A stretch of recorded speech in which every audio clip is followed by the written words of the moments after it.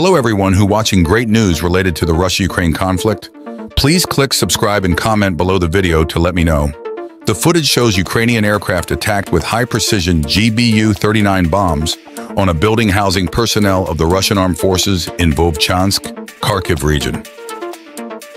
In the next specific context, a Russian soldier pretended to surrender, but then launched a counterattack, leading to a close-range gun battle with the Ukrainian army. The Ukrainian forces were able to overpower the Russian soldier, revealing a weakness in the Russian troops involved in this engagement.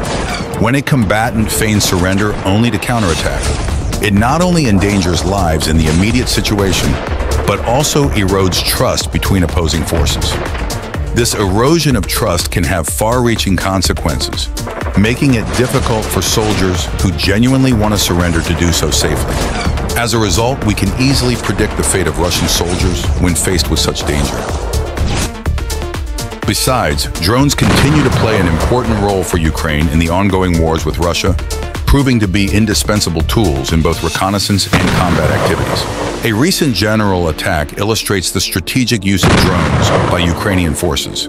In this operation, drones were deployed to scout ahead and identify hidden Russian positions, including troops concealed in forested areas and armored vehicles in camouflaged encampments.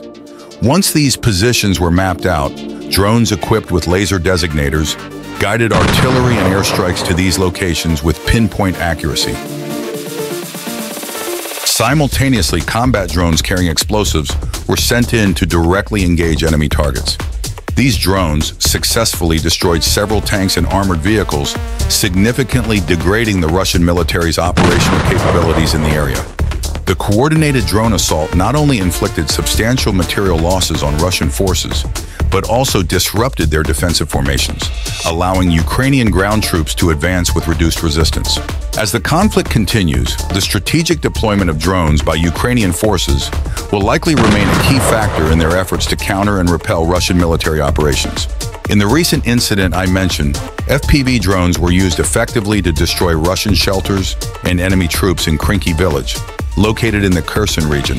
The first attack by the FPV drone targeted a specific shelter, causing the enemy troops to relocate to another house. However, the second strike was equally precise, resulting in further casualties and destruction. This type of drone warfare highlights the growing importance of technology in military strategies and the ability of FPV drones to conduct highly targeted attacks with minimal risk to the operators.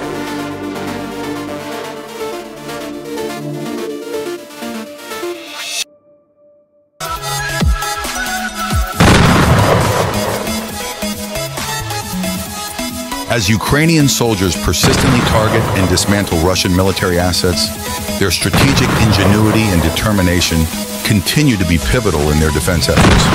The documented successes in these videos serve as powerful examples of their ability to effectively disrupt and destroy enemy operations. The footage provides not only a glimpse into the harsh realities of the battlefield, but also underscores the significant progress and resilience of the Ukrainian forces. The relentless pursuit of victory and protection of their homeland remain at the forefront of their mission. Thank you for watching. See you in the next video.